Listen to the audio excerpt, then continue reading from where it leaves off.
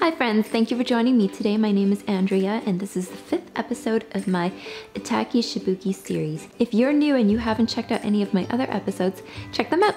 So far, I've made beef and broccoli, tomato beef rice, pepper steak, and kimchi pork belly fried rice. Today, I'll be showing you how to make beef galbi. I don't know about yours, but in my family, all the guys are huge fans of Korean beef short rib grilled to delicious perfection.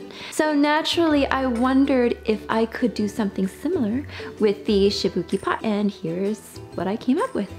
Let's get started. As usual, you need to prep the night before.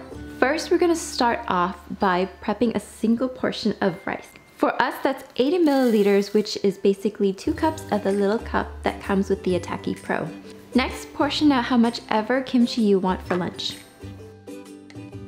Cut up a small crown of broccoli into bite-sized chunks and put them in a separate container. This recipe is for about one pound of beef short rib. To start, you're going to want to buy the flanken style short rib, which is short rib cut across the rib into one half inch thick flattened slices as opposed to English style beef short rib, which is short rib cut between the ribs with a large chunk of meat sitting on top. Take your flanken style short rib and cut it into pieces between the bone, making each piece about three inches across. Normally I wouldn't do this, but you need to be able to cook it evenly and properly in the little shabuki pot. Next, sprinkle two tablespoons of brown sugar over top and stir until each piece is coated in brown sugar. Set this aside for 10 to 15 minutes. Next, mince eight cloves of garlic, dice one onion, and smash two thumb-sized pieces of ginger. Grate a pear to get about two teaspoons of flesh. The pear is added to marinate the meat and make it more tender. It's perfect if you have Korean pear, but in a pinch, you could also use something like an Anjou or Bosc pear. Combine these in a leak-proof Tupperware container or a plastic bag with a zip top, together with one teaspoon of mirin, one quarter cup of soy sauce, two teaspoons of sesame oil, and half a teaspoon of ground black pepper. Mix to combine, then add the short rib to the marinade. Remove as much air as possible and massage the bag for about a minute or two to make sure that the marinade reaches each piece. Refrigerate for at least three hours or overnight. If you've prepared your marinade in Tupperware, just be sure to mix well. Now take a break and eat the rest of your pear.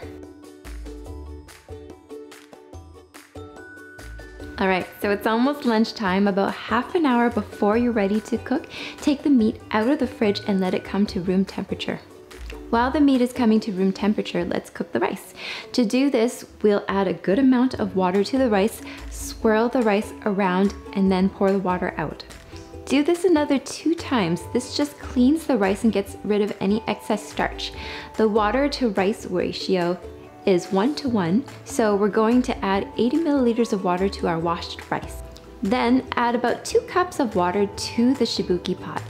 Place the bowl of rice into the steamer basket and place the steamer basket on top of the shabuki pot. Close the lid and turn the pot to low. Let it steam for 25 minutes.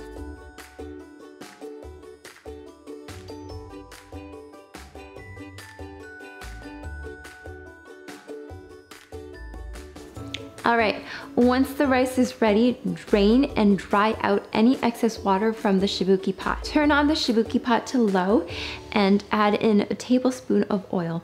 Then add two to three pieces of short rib to the shabuki pot and let it cook for about two to three minutes per side. Be careful not to crowd the shabuki pot, otherwise your pieces may not cook evenly.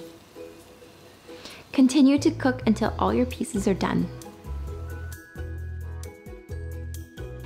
I found that one of the drawbacks of grilling the beef galbi in the shabuki pot is that the sugars from the marinade sticks to the bottom of the pot and burns. In this instance, after the spare ribs have been removed, add water and scrape off the burnt bits, wipe clean, and add more oil and continue as before. Finally, garnish with toasted sesame seeds and thinly sliced green onion and enjoy. Here it is, friends. The beef is tender and juicy. The flavors are sweet and savory. So what did you think? Obviously, nothing compares to flame grilled beef galbi, but I think this is a nice consolation if you don't have a grill. Thank you again for joining me today. If you tried out my recipe, please leave a comment below on how it turned out. I'd love to know. Don't forget to subscribe for more fun food ideas to make in the Shabuki pot. Until next time, friends. 嗯